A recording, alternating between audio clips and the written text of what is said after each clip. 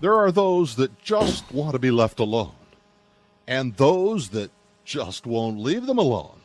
Which one are you? The Ernest Hancock Show.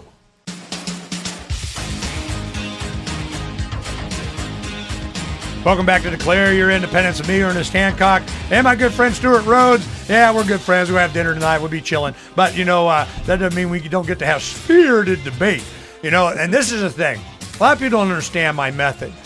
You know, I, I, I, I just see the Constitution as another plantation. Now, they the Articles of Confederation was better. Declaration of Independence was very clear. I, I have no problem with that. But they, you know, they they want to get a central bank. You know, that was that was kind of Art Hamilton's thing.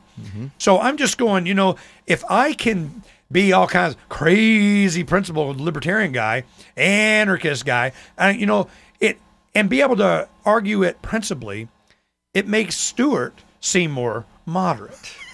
You know, it's like it's like, but I can't get on Southern Poverty Law Center list. You know, Heidi comes on, she says, "Yeah, from the Southern Poverty Law Center." She goes, she goes, "Well, we don't put you on because we know you want to be." and they said they don't put on libertarians for some reason too. I, and because they need to have um, an enemy that it, it can't really. Uh, I don't know. I'm not sure what they're afraid of from libertarians, but you consider yourself libertarian. I mean, let's go over your bio real quick. Stewart Rhodes, founder and director of Oath Keepers. He served as a U.S. Army paratrooper until disabled, and then he uh, was former firearms instructor and a former member of Ron Paul's D.C. staff. You know, a lot of people may not know that. He used to write for various magazines, you know, like a SWAT magazine and so on. You graduated from Yale Law School.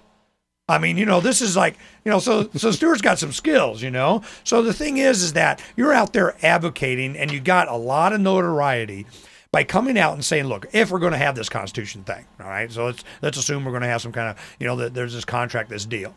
Well, there are people that got shiny badges, uniforms, and guns that take an oath to uphold and defend that document. And you're like, hey, I just want to, you know, like give you an extra opportunity to reaffirm that. Oh, they didn't like that none too much. And I'll tell you what Heidi's problem was. I had her on the show, and she said, well, he he's saying that that you know, giving people permission to disobey their president. That was their concern. They want central command. Right. They want absolute obedience. You know, their, their their opinion is that when they gain power by whatever means, after that, all the toys belong to them. That's the police and military. And so we're messing with their toys. They don't like that. They they want control. Now the thing that I'm I'm concerned about is is that when you advocate, we go to these. uh, This is a tour. Now, are you traveling around the country uh, with this Nullify Now thing? Yes, Okay, so you have several cities you're going to. you bet. Okay. Now the goal is that at the end of this, you will have I don't know thousands at least I'm sure of people that will have been exposed to whatever it is that you're going to say. And what is the theme that we're going to what?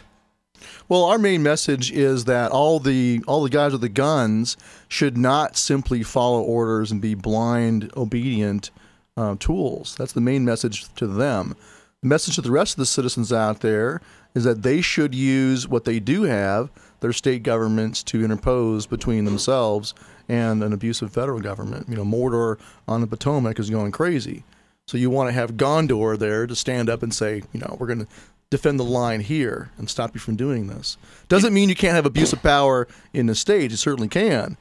But we do have that, like Jefferson and Madison, when they saw what happened with the Alien Sedition Acts, clear violation of the First Amendment, right out of the gate, arresting newspaper editors, they went to the state legislatures and said, "You have a responsibility to stand up to this and and declare this to be a, a null and void act." Let That's me tell you what's going to be different. I, I tell you, I can see where this is going already. Arizona is in enormous financial debt, more per capita than California. We're the worst in the nation, you know, for a population, you know, divided into the debt. The United States federal government is going to go carrot.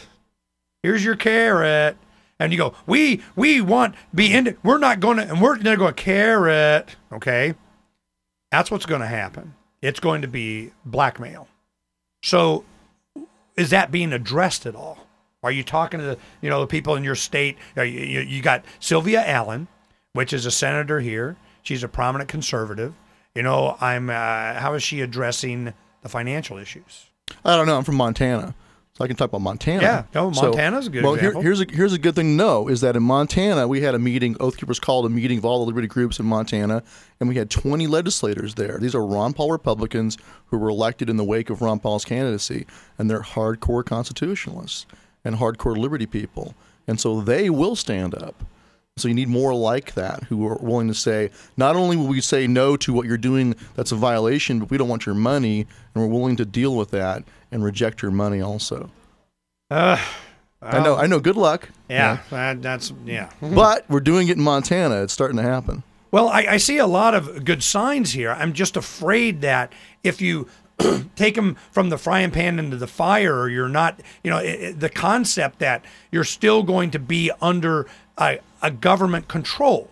Oh, no, no, it'll be constitutional this time. It'll be better. I, you know, how many reincarnations of this argument do I have to go through? I'm just I'm just wondering because in my adult life I see this same argument. In fact, the exact same argument in the 90s. It started in Colorado. It was a 10th Amendment thing. They got it passed in one of the legislative branches there. It became a big deal. They came here. The Arizona Breakfast Club was here. Mm-hmm. They presented it. They talked to legislators. It got introduced here. There was initiatives that were done. We did it in our newspaper, system, taking Initiative. We did it. I mean, on and on and on. And, you know, lots of meetings, hundreds of people. Same thing. then- exactly. And then Bush got elected, and then all went away, right?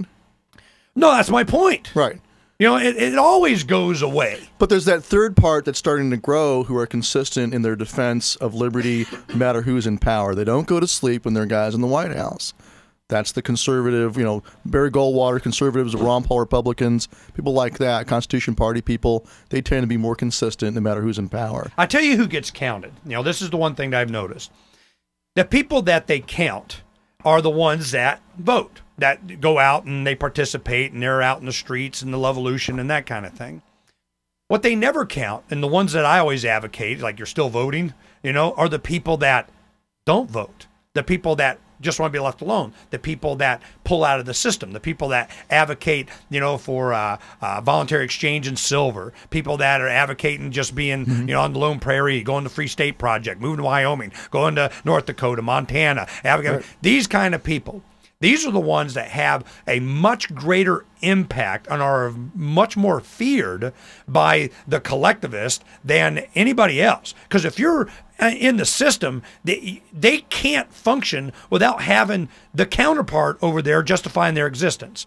When the people just start going, eh, I, I don't care. I'm over here. I'm doing my thing. What? As soon as that starts to happen, man, that's when that's when you start having the false flags. That's when you start. We got to rally the people together again. We got to have the aliens are invading from Alpha and whatever. Because if you don't, they lose that support from people in the concept of a collective in the government.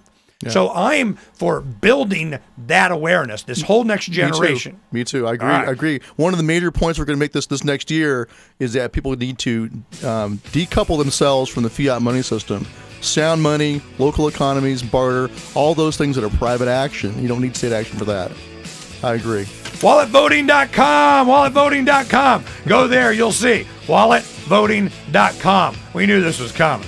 Well, we're going to have some more fun. A lot of the other guys are here, and we'll, uh, you know, see who else get a crack at me. We'll be right back here on Declare Your Independence in just a little bit.